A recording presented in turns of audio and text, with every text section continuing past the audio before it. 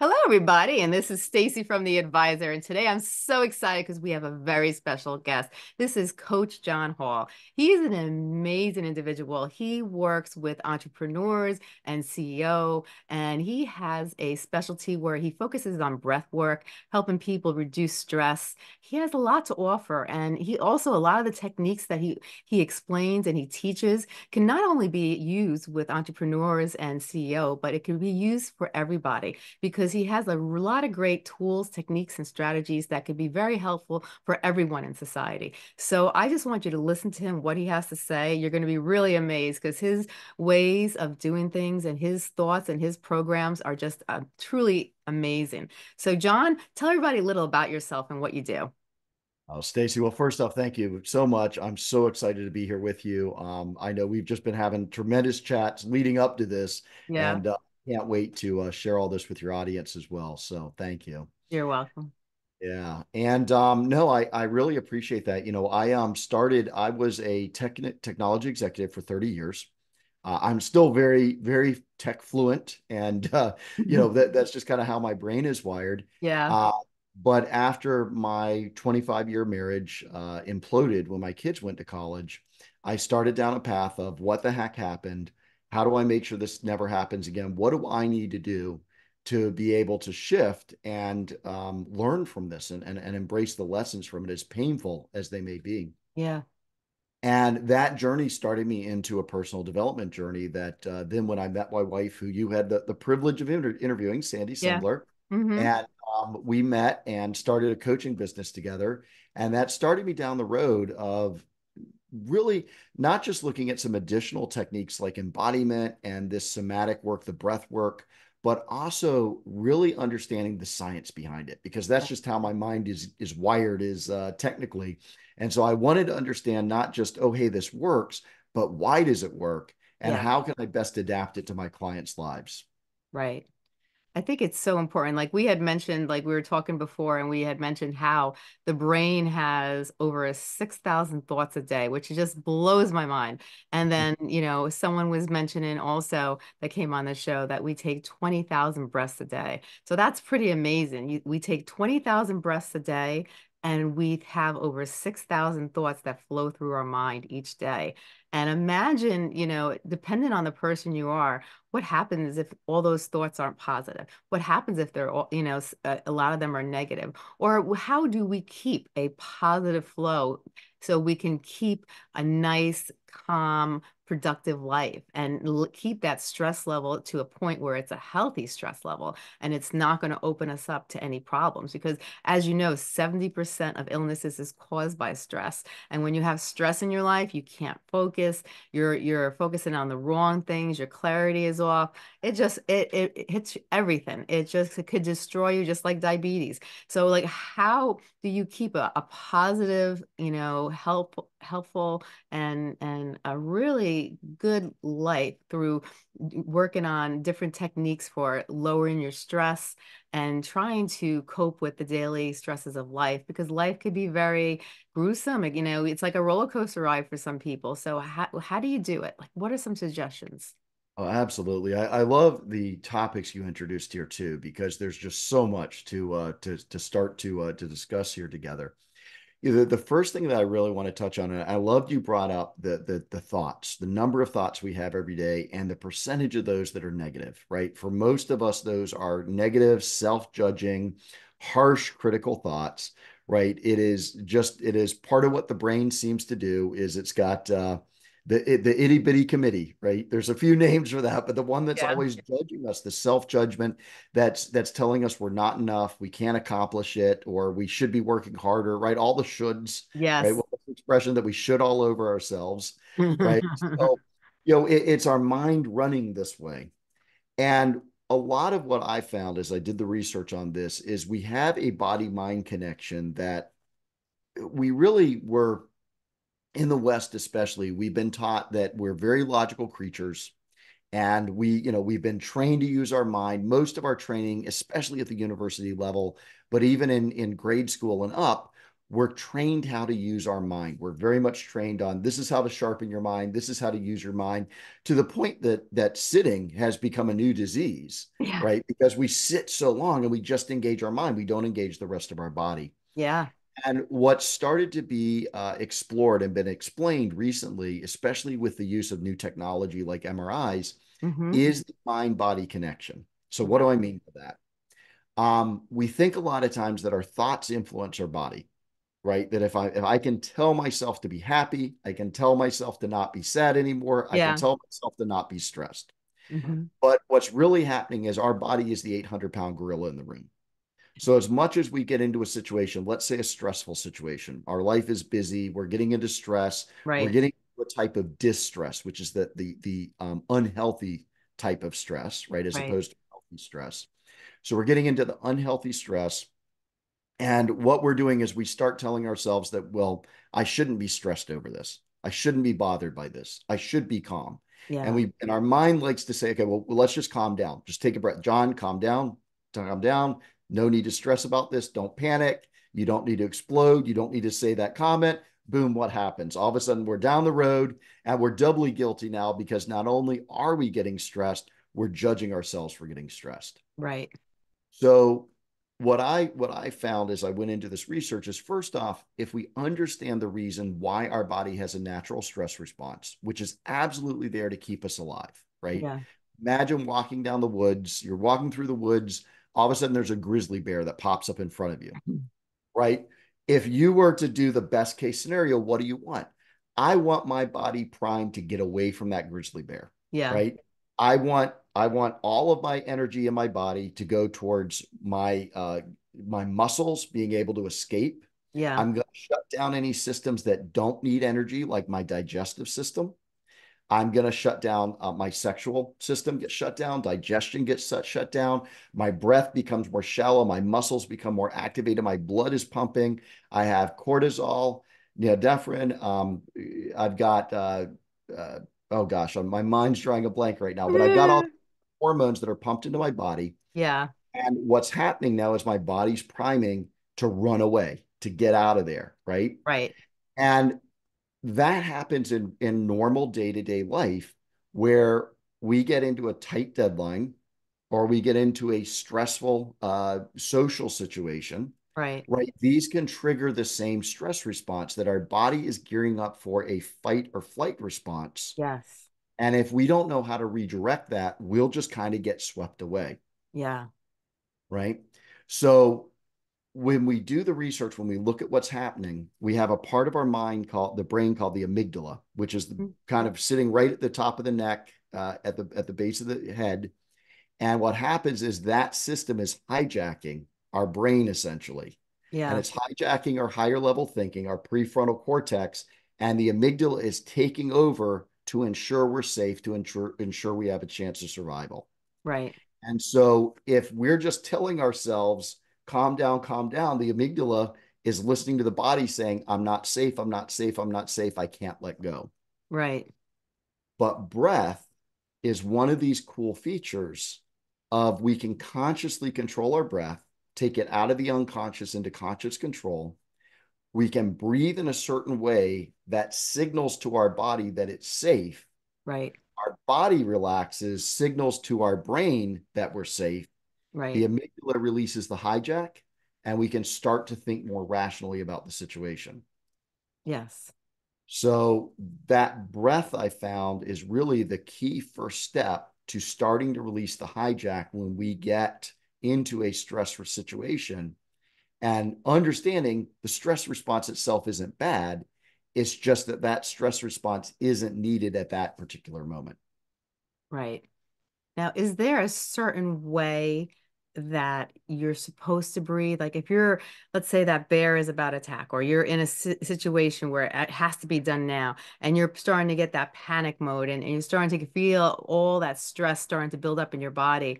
Is there a specific way of breathing that is most effective? Because there's many different ways you can breathe, but are there specific ways to slow down your breath? Is there specific ways to breathe in the oxygen and breathe out the oxygen that is better than other ways that will have a much better effect? Yeah, absolutely. So so first off, during the bear attack, get out of the bear attack. I'm not going to. Not going to do the attack for the bear breath. Okay, so your breath is just get out of that situation. But let's talk about when you're out of the stressful situation. Yeah. Um, or you want to redirect that stressful situation that you're in. So you're Right. not attacked by the bear, but your boss just came by and told you, "Hey, this this deadline is due on Monday. It's Friday at four o'clock." and they neglected to tell you about it until that moment, right? Right. So let's talk about that response, which is where we go into irrational thinking, Yes. right? Stress response takes over, and we can stay stuck in this mode. We can stay stuck and not see things clearly. Right. So, what we really want to do is we want to activate. There's something called the vagus nerve, Yes. and based on the Latin, right, which is uh, where the word vagrant comes Yes. from, like wanderer. It means the wanderer. And the vagus nerve wanders throughout our body. It connects a number of different systems into our brain. Yes. And it is one of the largest key inputs from our body into our brain. That's the vagus nerve. Yes. So, two key things that we want to be able to do to signal to the vagus nerve that we're safe. Number one is we want to shift from a chest breath to a belly breath. Okay. We're born actually breathing from our belly, but we learn and we move it up to our chest over time. Okay. And our chest breathing just becomes the go to. mm-hmm. Now, there are some positive aspects of chest breathing, but it is not, it is, it is more of an activation to our body, Yes. the belly breath. I Okay. So if you want to try the difference, you can put your hand on your chest, put your hand on your belly, okay. just take a natural breath in, just without thinking about it, and see which hand moves the most. If your chest moved more, if your chest hand moved more than your belly, then you're more chest breathing. If your belly hand moved more than your chest, you're belly breathing. I felt my chest moving a little bit more. Okay. So now just kind of go keep keep your hands in the same position and just Okay. focus on letting that belly hand move out as you inhale and exhale.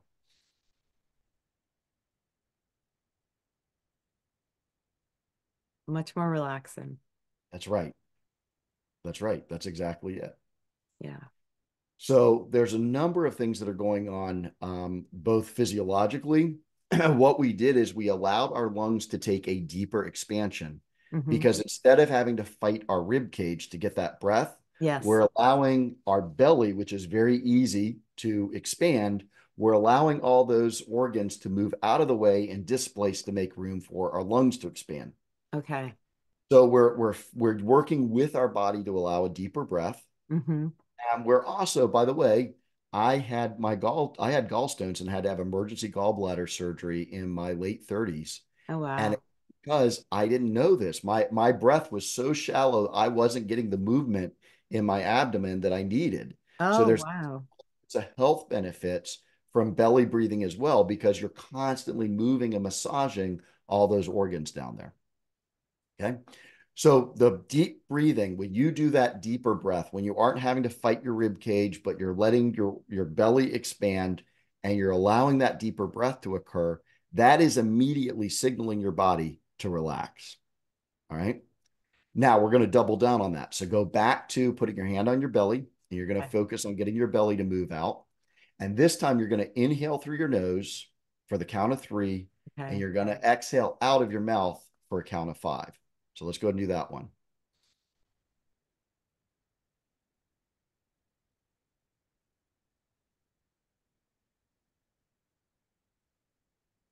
That feels very relaxing. Very relaxing. Yeah. So what we did is we combined two things on that one. We did the belly breath, which is already bigger breath, deeper breath, signaling your body to relax. Mm-hmm. But then we coupled it with and a longer exhale than an inhale. Okay. And that longer exhale also signals to our body to relax. So instead of our mind telling our body to calm down, Yes. what we did is our mind told our breath to act in a certain way that our body interprets as I'm calm. Sorry, my voice is like popping here. I got a sore throat. So mm-hmm. I like that little high note I hit on that definition. So um so that's that's that is one of the breaths that we can use that is a very calming breath. So again, not during the bear attack, but after the bear attack, when you're safely out of danger, you're noticing, you're noticing the stress response, you're noticing the stress is starting to build, you're feeling the hijack. Those would be that would be the breath I would do right there. A deep belly breath with an inhale, uh, sorry, an exhale that's longer than the inhale. Yeah. That's going to give you your your most the most effect in signaling your body to calm down. That also seems like it would be great too, because you know, so many people suffer from a high cortisol level. Now, if we were to change our breathing and we were to consistently learn how to breathe in a more common sense to the body, we could actually improve our health. And like you said, you weren't getting enough oxygen in your abdomen area, and that's how you got your gallbladder, your your your um gall gallstones, and and so it seems like not only can it help stress, but it, you know, it, well, 70% of case of stress is cause, you know, causes illness. So I guess if we start using breathing techniques, that could actually lower the stress, which also in in in all really helps the body stay healthy and can even possibly promote longevity on your part if we learn how to breathe properly and then also working on those those positive thoughts and trying to let those negativity those negative thoughts you know leave us you know because i think you know it's it's funny because a lot of times when we when we look back at things what do we remember the first things we remember the negative things before we remember we talk about the positive things and it's like it's so it's really changing your mindset changing your breathing could actually those two things your thoughts and your breathing could actually really change you completely as a person and probably make you more productive. Absolutely. In fact, that is, and you touched on exactly what I do to work with, uh, you know, people to to coach them in this. So let's start with a, you opened with the the number of breaths we take each day. You shared a thought that uh, around twenty thousand breaths each day. Mm-hmm. So imagine if even if we just remember uh, a tenth of them, yeah. Imagine 2,000 times a day we're signaling to our body we're calm, we're clear, we're grounded, we're connected. Yeah. Imagine having a little coach sitting next to you 2,000 times a day going, Hey, Stacey, you're calm. It's all good, right? Yeah. So, I mean, you see the impact of that breath, and it just took a few seconds. So, as we begin to incorporate this, mm-hmm. which, is, which is one of the ways that I work with clients, so let, let's talk about those really quickly. The first thing I do is I work with clients clients tactically. Yeah. So I work with them to understand how a stress system, how, what a stress response is, why the why we have it, and the healthy part of it, but also how to redirect that stress response. So you're noticing you're in a stressful situation. How do we redirect that? How do you get calm again? Right? How do you regain control? Right. The second way is strategically so I work with clients on specific breath patterns and regular practices that expand what's called our window of tolerance. Mm-hmm. So our window of tolerance is the zone of chaos or uncertainty or stress that we can handle without going into a stress response, without going into uh, hyper arousal, which is fight or flight, yes, or hypo arousal, which is withdrawal, shutdown, depression. Right. So we start expanding that window of tolerance. And by the way, this is something that the Navy SEALs do. This is something that top athletes do. This is something that the FBI does is wow. they work with their right the Navy SEALs go through something in the US they go through something incredibly intense called Hell Week. And if they aren't mentally prepared to deal with that, if they let their body's stress response run out of control, yeah, what's going to happen? They aren't going to make it. It's one of it's a, it has a tremendously high dropout rate. Yeah. So this is part of what they're learning is how to breathe in order to be able to make it through that successfully. So tactically, how do you redirect the stress response? Strategically, how do you expand your window of tolerance to be able to hand, handle more chaos? Yeah. Right? Because I'm working with executives and entrepreneurs. Maybe they have their own startup or their own company. You know, how many times in your life when you own your company do things just go sideways? Right. Right. All of a sudden you're trying to sort out. And what do you need? You need your clearest thinking at that moment. Yeah. More that you can stay outside of a stress response, even though a situation may be stressful. Right. that you can you can line up with your goals and achieve them. And then the third way I work with with clients is I work to shift limiting beliefs. Mm-hmm. So, right, we were talking a little bit pre-show about how, you know, my my image that I take is we get these little beliefs in childhood or we pick them up along our way. You know, I'm not enough. Uh, I can't I can't surpass my father in business. Yeah. Or if I become successful, my friends won't like me, um, or I'll be all alone, uh, or people people I love will leave me. Right, all these thoughts, all these little beliefs picked up, and we weren't. Um, we didn't have the capacity as a child or at that time to evaluate them for what they were. And so we them and we may wrap little like pearls, we may wrap something smooth around them to make them a little easier to digest, Yeah. but they sit there and they live inside of us. Right. So by using breath work and very specific imagery and patterns that have been proven to be very successful in reprogramming our subconscious mind, or what uh, Daniel Daniel Kahneman would call system one or system one thinking, Yeah. uh, book thinking fast and slow, we can start to shift our go-to day-to-day system that and prevent these biases and fallacies from being a part right we can start to reduce and address some of the biases and fallacies and limiting beliefs that live in that system right Right. so now we're we're living more in line with how we're meant to live Right.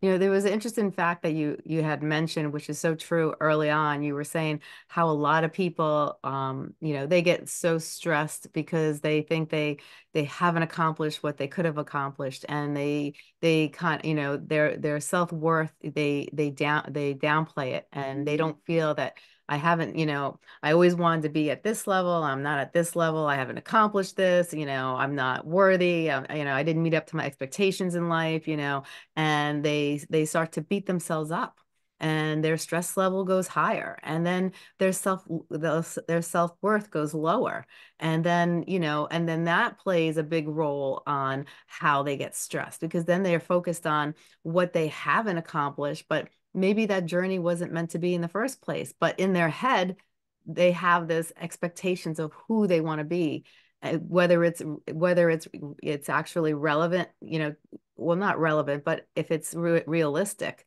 or not you know that's what they think in their heads. So those negative thoughts how does someone start to erase those negative thoughts and start to get back on a, a level of reality and and really start to accept themselves for who they are and really start to appreciate the person they've become? Yeah absolutely that's a that's a that's a great question. There's a lot there. So um I, i'd love to i'd love to start by sharing a story. Sure so um, when I was uh, a few years ago, I have a, a, a, nephew. He's older now, but my nephew was uh, nine or 10 at the moment, uh, staying with my brother. And we were taking a walk out in the neighborhood. And um, we had been told by some neighbors they had seen a rabid fox in the, in the neighborhood and mm-hmm. to be careful when we went out on our walk. Right. Well, my nephew had the flashlight. So we're walking down the road, and all my all my nephew can think about is the rabid fox. So that Oh, that flashlight is just shooting all through the woods. I mean, it it's deep in the woods, it's in the ditch, it's up in the trees, it's sometimes it's in front of us, but like that flashlight is going all over the place. Yeah. And it made it very difficult to walk because instead of focusing on the path in front of us, right, we're we're having to guess what's going on because it's just it's so distracting. Right. The flash everywhere, right? Yeah like to use that analogy because when we start to develop mindfulness which is our ability to refocus our mind yes. right? People people believe i used to believe meditation was focusing on nothing and it's not.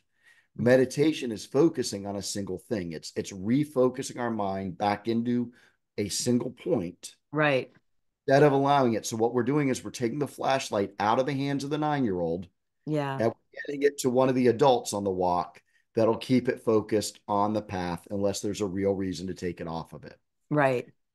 So, as we do what I found for myself and a lot of clients, instead of focusing on meditation as a single word or trying to clear their mind, when we can bring awareness to our breath, yeah, it is just such a natural gateway to allow us to then start training our mind to calm down and focus in. Right. And the more that we do it, this is part of my strategic training. The Mhm. more that we do that, the more our body knows how to respond.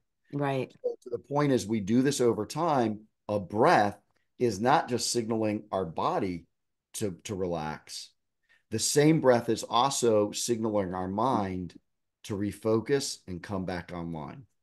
Right. So I I think that is really one of the first steps, and that's obviously why I train people in breath work because I think it's so powerful. Yeah. Recognizing these negative thoughts, recognizing it's just the mind chatter, being able to use our breath, use our physiology uh, to be able to refocus. And in fact, that's one of the acronyms that I teach clients is Yeah. BPM, like beats per minute, like your heart rate. Yeah. I teach them when you start to feel your heart rate go up, BPM, breath work, right? Your breathe, Yes. Physiology, right? What's going on in our body? How are we breathing? Right? How, how are we showing up? A lot of times we do this when we get stressed, right? We Yeah. hunch Yeah. Mhm. shoulders collapse, the head goes down. So opening up our body, opening up our chest. By the way, uh, uh, Amy Cuddy has done some tremendous work around this, showing the mindset changes in physiology. And the final one then being our mindset. So then refocusing to a positive mindset. But I, I believe we have to do them in that order Yeah. because the breath leading to the physiology, leading to the mindset, we're just in our mind trying to fight our mind and our body at the same time. Right. And that's virtually impossible. Bingo. Mhm. Bingo. I love that story though. And and it's it's it's a cute story and it's so true though. You know, like if you're walking on a path and and you're so in fix, you know fixated on one specific thing and you're looking all over the place for that one specific thing, you can't focus on on the path and where you're going, you know? And it it's so true. It's so true. Just like if you're going to climb up a tree, you're going to focus on the trunk. You're going to, and then you'll make your way to the branches, you know, but you're you're you're focused and you're you're you're fixated in one specific area you're not all over the place or else you're going to fall off that tree you know and and it, it's it's so true so true you know I, I feel i feel like really breath work is so powerful it's such a powerful tool and i don't think people realize how powerful it is. I think a lot of people let their mind take over and that's a problem you know? I see that especially in, in business with people when i speak to clients and i speak to people they are so if they're not making payroll or if they're not paying the bills or if they're having stress and and something wrong goes and and it throws the whole office off you know they're they're they're scattered all over the place and they're just fixated on the problem but they're not fixated on the solution and their stress level goes up. So then they can't focus on on really finding that solution because they're so they're so you know they're fixated on on the actual problem and their mind is going a mile a minute all those thoughts that we're talking about those 6000 thoughts it's it's like a hurricane in their brain instead of like a, a flow and energy that we're supposed to have because as a human you know as an energy because our whole our, the whole world is made of energy. If we didn't have energy it wouldn't be here and our body's the same way. We're just flowing you know and if a healthy person has a flow in energy no blockage it just flows. And if you have stress in your life you're not flowing you're like a hurricane. It's all over the place you know? If you're going to get a cat scan or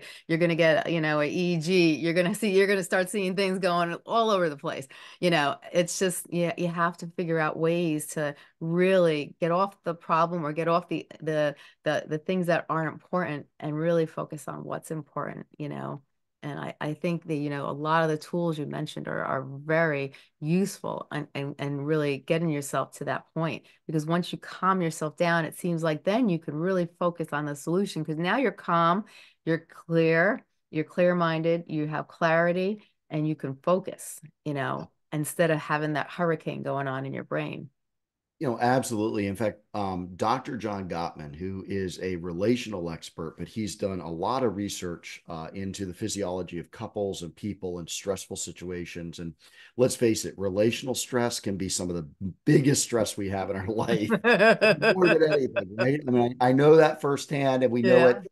You're in a relationship, you know the stress that a relationship can bring, Oh, as yeah. well as the beautiful side of a relationship as well. Exactly. And he did research and he found that in a in a stressful situation, when a person's heart rate goes over 100 beats per minute, the blood flow to their prefrontal cortex, which is that wise executive let's stay in flow decision maker, right? It's the Yeah. part to bring our energy in alignment. It goes offline and our amygdala takes over. Yeah. So we're literally stopping blood flow into this region of our brain, taking Wow. that wise center offline, which again, I see a bear in the woods. I don't need to know the spiritual meaning of the bear about to attack me in the woods. I know that I need to run, right? Uh-huh. So I don't need this part of my brain when I have an immediate threat and I need to get out of there. But I do need this part of my brain when I'm not physically in danger, right? When I when I want to redirect the stress response, I want to give it a different reaction than I've given in the past, right? That's absolutely the part of getting, again, the key part of getting that physiology, getting the blood flow back to this part of your brain Yeah. so that you can make wise decisions. So true. Now, if you had to like take what we have said and you wanted to give some takeaways to the audience, how, what important things would you like to emphasize? Because we've gone over a lot of information today and there's a lot of things. But if you had to summarize, like what important things do you want to emphasize to the listeners that will make a huge difference in their lives? Absolutely. So the first thing that, that I really would love people to understand, and the reason I've been doing this uh, this podcast circuit and just bringing so much awareness to this, is your body's natural stress response is there for a reason. Don't beat yourself up. Don't judge yourself, right? Don't blame yourself for becoming stressed or anxious.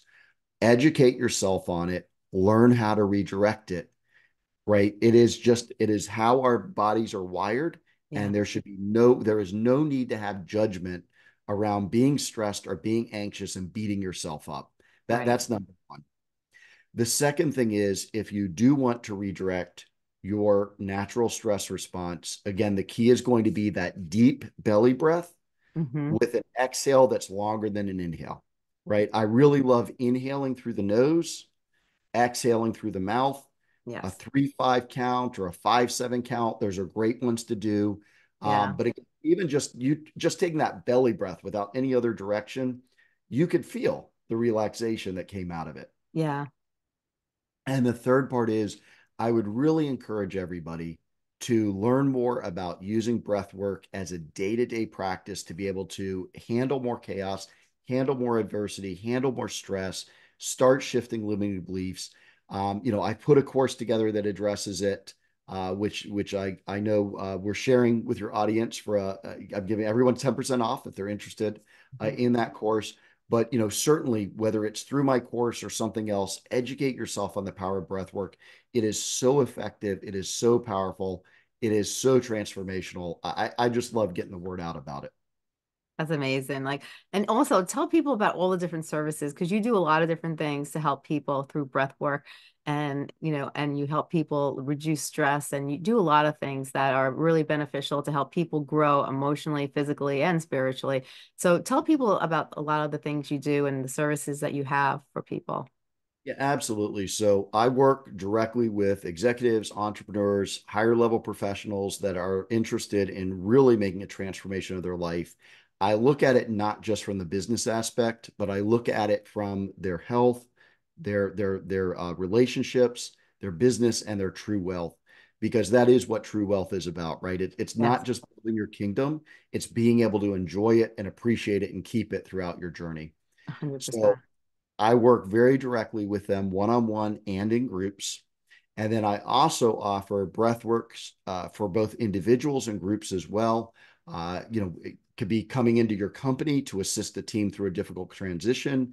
It can be working with you directly or even working with couples. Um, my wife, Sandy, I know you had the privilege, you know, Sandy, so Yes. it's so neat get to talk about it. So Sandy and I also work with couples. Uh, she she does a lot of relationship work, and I I come in and join in from time to time. And so that is absolutely we've incorporated breath work into that as well. That's a really neat date night, by the way, Yeah. is breathwork event for you and your partner to to do that. So there are opportunities for breathwork courses and to work with me on breathwork. And then obviously, if you're looking to really make a major change in your life, the direct coaching is something I highly recommend. Yeah, that's that's amazing. And where can people find you? What what what's where is your website? So my website is at breathe, B R E A T H E, breathe dash with dot me. Breathe with me. And are you available on the social networks if anyone wants to like follow you and see what you're up to and keep up with all the good things that you're doing? Where can they find you on the social media? I am. That's going to be, and we'll have, I'll send you the link so they'll be in the show notes, but that is uh, at John Hall Coaching on Instagram and Facebook hmm and John Thomas Hall on LinkedIn. Excellent. Oh my goodness, this has been amazing. I really want you back on the show. I, I love this because, you know, so many people, you know, react instead of really taking a deep breath and then doing these exercises the way you were explaining. And I'm sure there's more than one way of doing different types of breathing for different situations that, you know, if people didn't react and just, you know, and they can just take a, a first, maybe one deep breath just to slow it down and then imp- implement the things that you teach them, you know, so many great things could happen. You know, you could see people maybe not acting so violently or so hateful. You could see people actually having better relationships instead of just yelling at your spouse and get into in a fight or saying something that you didn't mean, but it just slipped out of your mouth or just be at being at work and getting so stressed out and maybe jumping at a coworker or a colleague that you didn't really want to, but you were just so stressed for the day. And we can go on and on and on about situations and scenarios, but if you learn how to do specific breathe work for certain situations, you can make your life better in all areas of your life. And it and it seems that, you know, it's you know, it's like you said, it's it's a daily it's it's a daily process, just like everything. If you want to lose weight, it's not like eating one good day and then you just go back to your old ways. It's incorporated into your daily lifestyle. And I feel like when you incorporate good habits into your daily lifestyle, before you know it, you don't even realize you're doing it. It becomes just a part of you. It's a part of your lifestyle. And you don't even realize you, after a while, you don't even have to make the effort. It just, it gets implanted into your brain and implanted into your subconscious, and you just react that way and it really can improve your overall life a hundred percent. So I love what you're doing. I think you're doing a great thing for, you know, not just the CEOs and, and the, and the people who own businesses, but all these different techniques can help people, like you said, individually, and it can change people's lives in so many ways. So thank you so much for taking the time to come on the show and just share all this. This is great. And I hope you'll come back and I hope to see you soon. Absolutely. Stacey, thank you so much. It's so wonderful to get to uh, chat with you today and share this with you. Oh, thank you. Thank you so much. And have a great day. Thanks, Stacey.